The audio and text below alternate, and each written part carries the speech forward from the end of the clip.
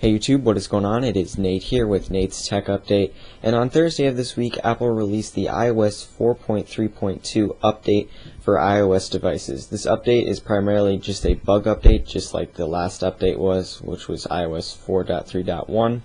Uh, the bug fixes in this update include uh, issues with FaceTime, it freezing or there being a blank screen, uh, issues with iPad 2 users who have the uh, Verizon model where they were unable to connect to the network, and also just some general security updates. Uh, the Verizon iPhone also um, is being updated too, but their version is iOS 4.2.7, which also includes all of these bug fixes as well. For those of you who rely on a jailbreak or unlock, I would recommend at this point staying away from this update as it only includes bug fixes, no actual features for the device itself.